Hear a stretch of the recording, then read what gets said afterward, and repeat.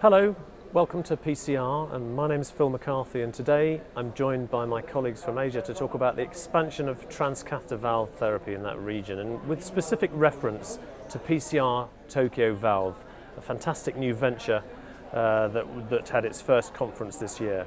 So Paul, KK, and Kentaro are here with me. Kentaro, you were one of the main directors of PCR Tokyo Valve. Tell me what your, your highlights were of the conference in April. Okay, thank you very much. Uh, we have just finished our first edition of our PCR Tokyo Valve in March this year. And the highlight could be the uh, kind of the really interactive uh, participant of three, more than 350 people. Yeah. And the learning session was really interactive and the learning the uh, really specific technique to the, uh, the Asian uh, anatomy, which is really specific, specific to our, our, patients. So particular challenges, Paul, there are, there are particular challenges of transcatheter valve therapy in the Asian population, aren't there? I mean, and, they, and I think the PCR Tokyo Valves brought some of those issues out. What, what do you think they are? I think the challenges that we have uh, in the region is that first we, are, we have small patients. Yeah. Small patients in body size, in anatomy.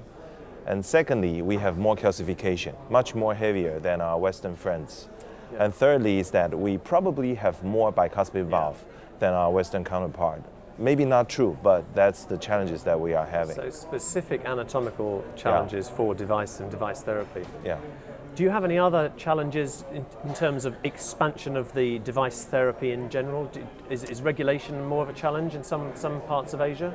You know, the Asian concept is that we don't want to be cut open. Yeah. So whenever there is an alternative treatment, less invasive, let's say transcatheter endovascular, then I think the patient will jump for it. So I think it's a huge opportunity for us, but then it's a huge challenge to all of us. Okay, where does mitral valve intervention fit in? We talked about the annulus size and talked about TAVI. How about mitral valve intervention? Well, we have had uh, mitral clip therapies uh, for some time in Asia now, but uh, it hasn't really taken off as much as uh, TAVI has. Why do you think that is? I think it's a complicated problem with uh, both the presence of data or the, should I say, the absence of a data, especially yeah. for functional MR. Uh, cost regulation are also issues. Mm. But I'm glad to hear that uh, you know in uh, Japan uh, they have started and should complete their trial soon, and perhaps with um, the introduction of the mitral clip therapy in uh, Japan, things may change. So I'm excited to, to, to see that uh, next year there will perhaps be a bit more uh, on the mitral clip and other mitral interventions yeah. Tokyo valves. I mean, it sounds like a very exciting time in Asia for transcatheter valve therapy. It is. Kentaro, tell me where is PCR Tokyo Valves going to go next? What, what's, okay. uh, what's the future? Okay, thanks. Actually, the, uh, this year, most of the participants are Japanese people, and we would like to make the uh, discourse to be the Asian meeting. Yeah. So uh, we're going to uh, expand the population, expand yeah. the population to yeah. the whole Asian people. Right. That is the first one.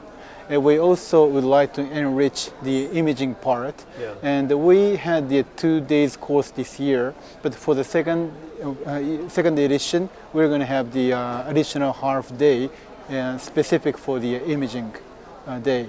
So, so uh, involve imaging colleagues as well as interventional cardiologists exactly. and surgeons and as well. so it should appeal to a broad range of, of cardiologists. Exactly. And the, what is the date of PCR Tokyo Valve in 2017? Okay, so we're going to have the course uh, from the 7th to 9th April 2017. It is also a really good season for the cherry blossom Fantastic. So it's really good reason so, to come over to Tokyo. So that is a big date for the diary. It sounds like a, a great time for transcatheter valve therapy. I think PCR Tokyo Valve is going to be leading the way. So congratulations. I look forward to seeing it all develop. Thanks. Thank, Thank you. you.